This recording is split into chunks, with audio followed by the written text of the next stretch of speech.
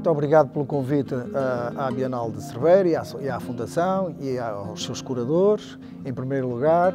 Depois, a tentativa de, desta exposição foi, eh, digamos, mostrar um bocadinho do trabalho eh, e da mistura das linguagens que eu tenho tido ao longo de algumas décadas, digamos assim. Não muitas, mas enfim, algumas décadas. A nível da pintura, a nível do desenho, a nível da, da, da gravura e também a nível da expressão, da, da, expressão dramática que tem a ver com o teatro e a ópera. Daí eu ter, ter colocado dois exemplos, um de teatro, que é das criadas do, do Jean Genet, que, fui, que fiz mais ou menos em 2016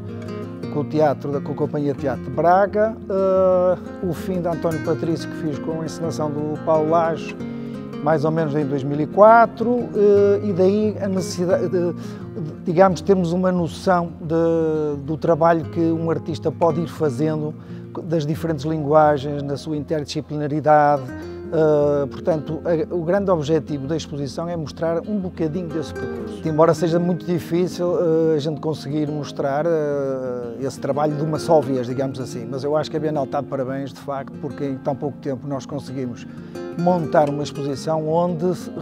onde esse trabalho se reflete de alguma maneira, não na sua totalidade, como é óbvio, nunca é aquilo que a gente quer, nós queremos ser muito mais, gostaríamos de fazer muitíssimo mais, mas dá para perceber a quem possa vir, vir visitar, dá para perceber essas diferentes dimensões, esses diferentes conceitos, as diferentes linguagens que, que um artista vai tendo ao longo do tempo, não é? Nós vamos, nós vamos eh, experimentando e nunca é, o engraçado disto tudo é que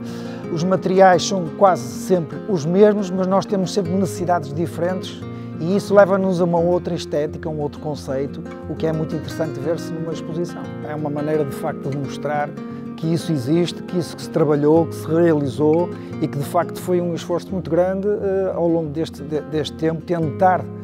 essas tais linguagens, que é muito difícil, como é óbvio, todos nós percebemos isso e eu faço essa auto, autocrítica, porque muitas vezes podemos cair em algum diletantismo, porque ao experimentar diferentes uh, linguagens podemos uh, fugir às vezes da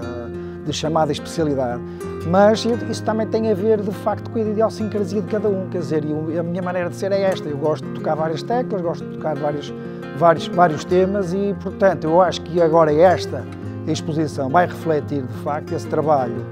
externo também, essas formações, eh, as diferentes formações que a gente vai tendo e culminar, de facto, nesta, nesta, nesta, aliás, no próprio tema da, da exposição, tem a ver com, com a linguagem da arte digital, das artes plásticas e o teatro. Foi, foi uma coincidência muito grande, porque quando eu fui convidado pela Helena curadora da Bienal de Cerveira e do Cabral, eles com certeza não sabiam que exatamente no dia da inauguração era o dia que eu faria uh, as 70 primaveras, não é? Portanto, acho isso assim uma coisa interessante e, um, e, um, e uma coisa, uh, digamos, uh, para a gente se rir um bocadinho. Falta apresentar muitas outras coisas, falta apresentar as coleções que estão, que eu felizmente ao longo de, dos anos fui vendendo, não é? Há muitos colecionadores particulares, eu não trago um um sequer um trabalho de nenhum colecionador. Falta apresentar imensas coisas no currículo a nível teatral também e, portanto, há uma série de coisas que daqui a 20 anos provavelmente eu poderia mostrar com mais qualidade e com mais, eh, com mais cuidado.